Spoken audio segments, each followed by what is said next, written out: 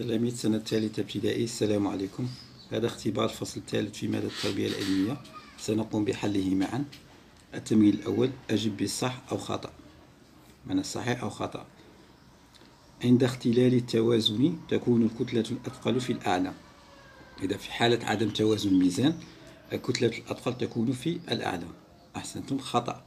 في حالة عدم التوازن الكتلة الأثقل تكون دائما في الأسفل. إذا في الأعلى. خطأ نكتب خطأ. ثانيا عند الدرجة الصفر المئوي الصفر المئوي درجة الصفر المئوي يتجمد الماء. درجة الصفر الماء يصير جامدا. أحسنتم صحيح. كتب صح نواصل عندما تكون الدارة الكهربائية مفتوحة دارة مفتوحة بواسطة القاطعة فإن المصباح يضيء. الدارة الكهربائية مفتوحة معناه لا يمر التيار الكهربائي وبالتالي المصباح لا يضيء. إذا المصباح يضيء أحسنتم خطأ. الدارة الكهربائية مفتوحة لا يشتعل المصباح. في فصل الشتاء تزداد مدة الليل وتنقص مدة النهار. في فصل الشتاء تزداد مدة الليل وتنقص مدة النهار. أحسنتم صحيح. في فصل الشتاء الليل طويل والنهار قصير. نواصل إذا كانت البطارية سليمة جيد. والمصباح فاسدا هنا المصباح فاسد. والقاطعة مغلقة فالمصباح لا يشتعل. أحسنتم صح. يكفي أن تكون واحدة من هذا خطأ حتى لا يشتعل المصباح.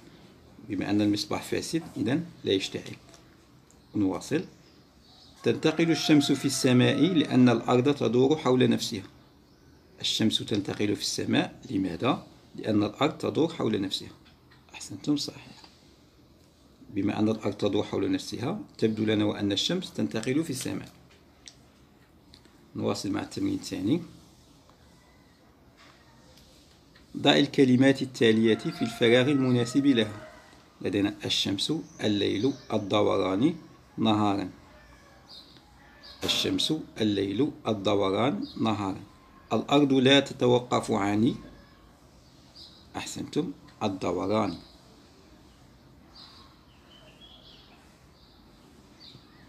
الأرض لا تتوقف عن الدوران.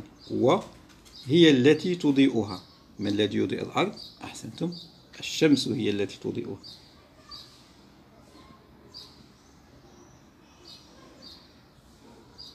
الشمس هي التي تضيء الأرض هي التي تضيئها. عندما تكون الجزائر مضاءة أنه يوجد فيها الضوء بنور الشمس يكون الوقت نهارا أم ليلا؟ أحسنتم نهارا. أن وجود الشمس معناه نهار. وعندما تغيب الشمس عندما تختفي الشمس يحل أحسنتم يحل الليل.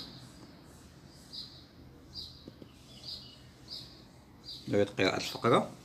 الأرض لا تتوقف عن الدوران والشمس هي التي تضيئها عندما تكون الجزائر مضاءة بنور الشمس يكون الوقت نهارا وعندما تغيب الشمس يحل الليل. ننتقل إلى التمرين الثالث. أكمل الفراغ الرزنامة الميلادية أصلها وتتعلق بدوران حول. إذا الرزنامة الميلادية أصلها جيد أصلها ميلادية أصلها ميلاد عيسى عليه السلام. اكتب ميلاد سيدنا عيسى عليه السلام. أو كما مكتوب في الكتاب ميلاد المسيح عليه السلام.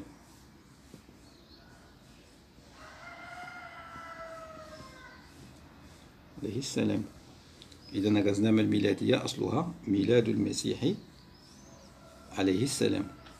وتتعلق بدوران أحسنتم دوران الأرض حول الشمس.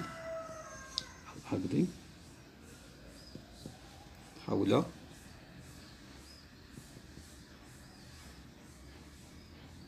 الشمس. نعيد قراءة العبارة. الرزنامة الميلادية الميلادية. أصلها ميلاد المسيح عليه السلام. مسيح سيدنا, موسى سيدنا عيسى عليه السلام.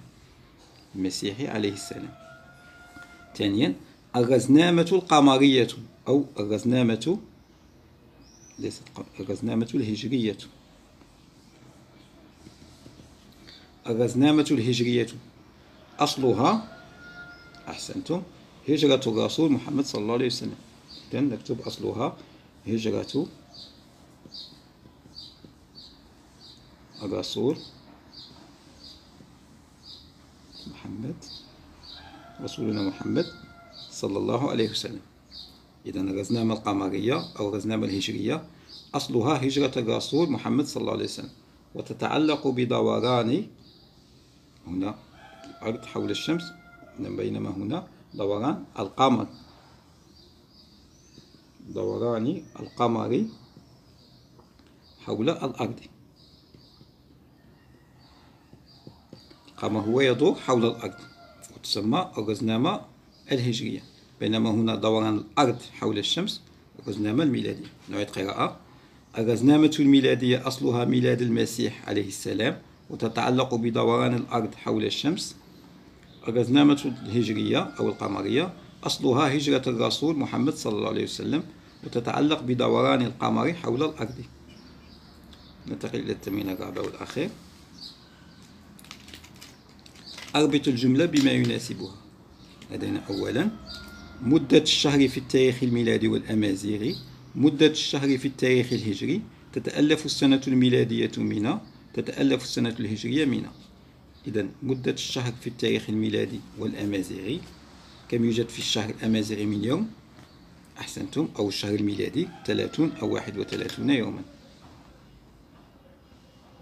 إذا الأشهر الميلادية أو الأمازيغية تحتوي على 30 إما 30 أو 31 بينما مدة الشهر في التاريخ الهجري أحسنتم 29 أو 30 يوما.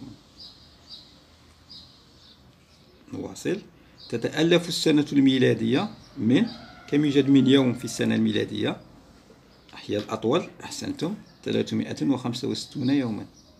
السنة الميلادية هي الأطول لأنها تحتوي على 30 أو 31 السنة الميلادية من 365 يوما تقريبا.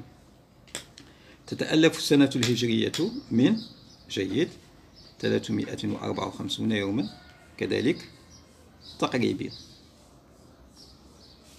نعيد قراءة الجمل مدة الشهر في التاريخ الميلادي والأمازيغ الشهر يتكون من إما 30 أو 31 بينما في الشهر الهجري في التاريخ الهجري عفوا يتكون يتألف الشهر من أو مدة الشهر هي إما 29 أو 30 السنة الميلادية تتألف من 365 يوما تقريبا بينما السنة الهجرية تتألف من 354 يوما تقريبا. وهكذا انتهينا من حل الاختبار. لا تنسوا الاشتراك في القناة وتفعيل جرس الإشعارات ليصلكم الجديد. وإلى اختبار قادم إن شاء الله. والسلام عليكم.